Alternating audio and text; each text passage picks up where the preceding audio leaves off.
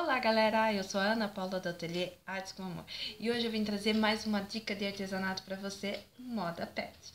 Bom, o que eu vou mostrar para vocês hoje é essa meinha para cachorrinho, tá? Super fácil de fazer, rapidinha, tá? Você abre aqui, ó, que tem um, um com velcro, né? Para você apertar na perninha do cachorrinho.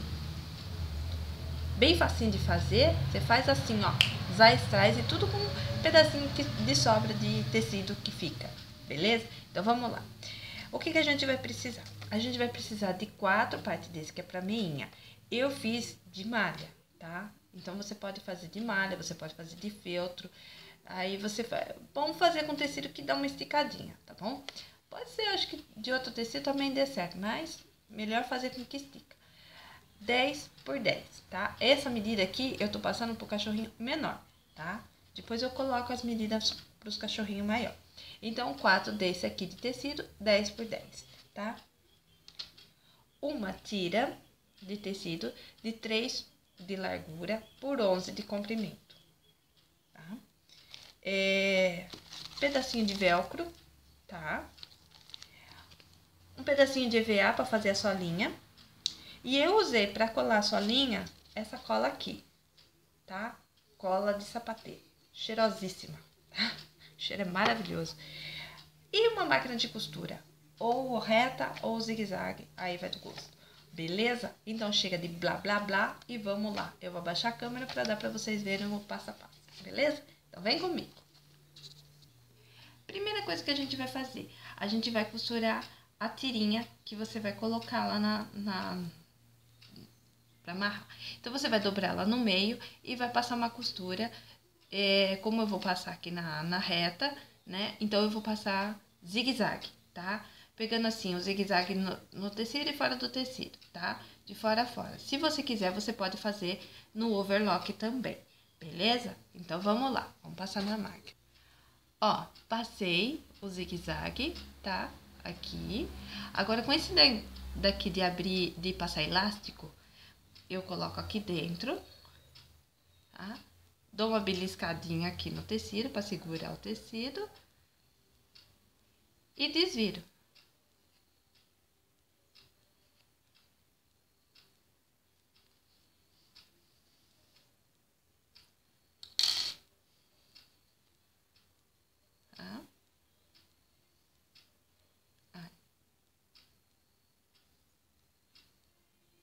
Beleza? Então, até aí tá tranquilão, né?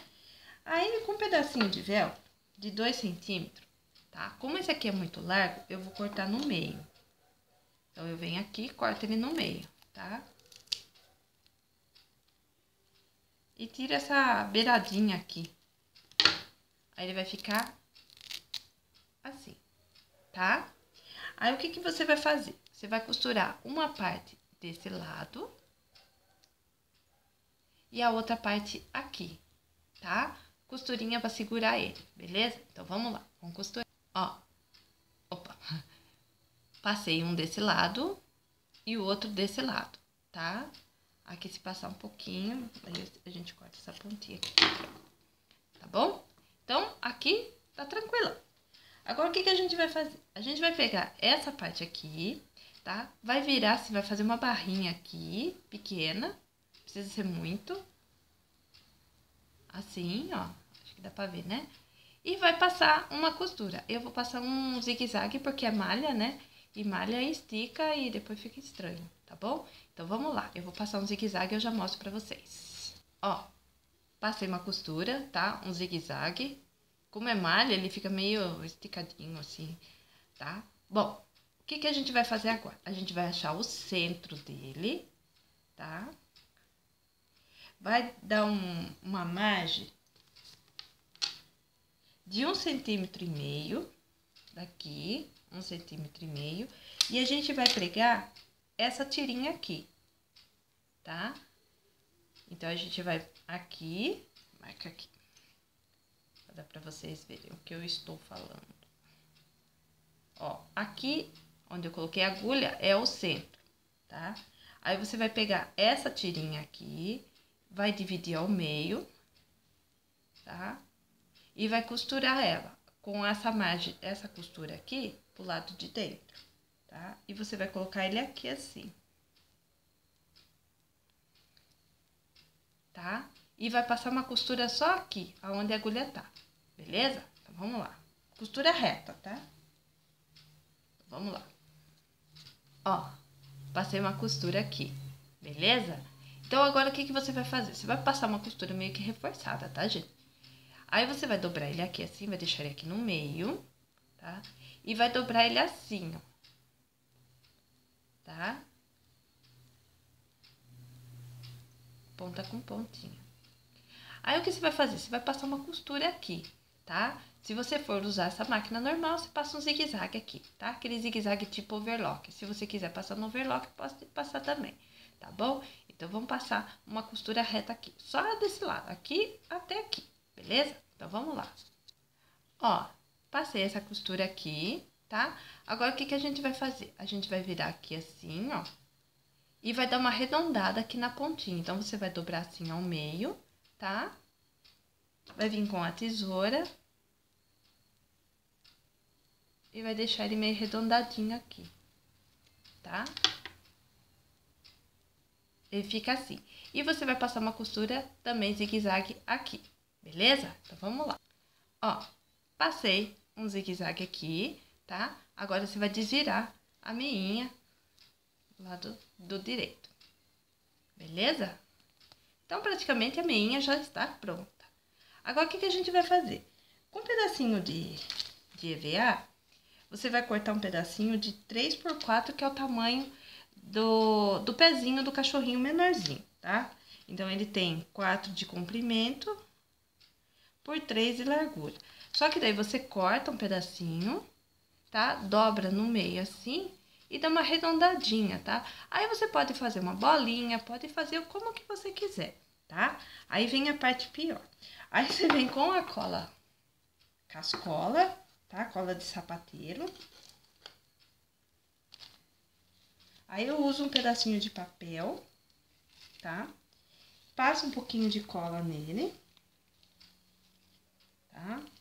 Vocês têm a vantagem que vídeo não tem cheiro, gente. Porque essa cola é super cheirosa. Se você tem problema de bronquite, não use. Ai. Ó. Tá? Deixa eu mostrar pra vocês. Nossa. Ó. Não sei se vai dar pra ver. Aí, vocês vão pegar aqui, do lado do avesso do, da sandalinha, do pezinho aqui, ó. Você vai colocar o dedo assim e vai colocar ele aqui, ó. Tá? E vai apertar só de um lado. Então, por isso, não, não aperta ele assim, porque pode vazar do outro lado e sair. Eu passo essa cola, porque essa cola pode lavar, que ela não sai. Já cola quente, talvez na hora que você lavar, ela descole, tá? E tá pronto a nossa sandalinha, nosso sapatinho para cachorrinho. Ou meinha também, né? Aí aqui você vai dobrar ele assim, né? E o próprio velcro vai apertando a, a perninha dele. Beleza, gente? Então, vou erguer a câmera para mostrar direitinho para vocês. Aí, galera, esse aqui foi o nosso sapatinho, foi o nosso passo a passo de hoje, tá? Daí você vai fazer quatro pezinhos iguais, tá? As quatro patinhas. Esse EVA serve para ele não escorregar, tá? Então, tá feito o sapatinho. Você pode usar com vários pedacinhos de restinho de, de tecido de malha. Beleza, gente? Espero que vocês tenham gostado da minha dica. Se vocês gostaram, não esquece de deixar o joinha. Se vocês gostaram bastante, compartilhe essa ideia com outras pessoas para que eles possam fazer também, tá? Vocês desculpem pela minha voz hoje, que eu estou com um pouco de gripe, tá? Mas estou tomando chá de limão com gengibre, logo passa. Beleza, gente? E eu vou deixar as medidas desse sapatinho, dessa meinha, na minha página do Face, que é Ana Artes com Amor. Se você quiser, também dá uma passadinha lá e dá uma curtidinha lá, dá um joinha lá também. E se você já quer inscrito aqui no meu canal, meu muito obrigado. Se você ainda não é inscrito no meu canal, perca tempo não, se inscreva no meu canal, que tá assim de ideias de passo a passo, de artesanato, simples, fácil, rápido e barato. Um super beijo e até a próxima, se Deus quiser. Tchau, gente! Tchau!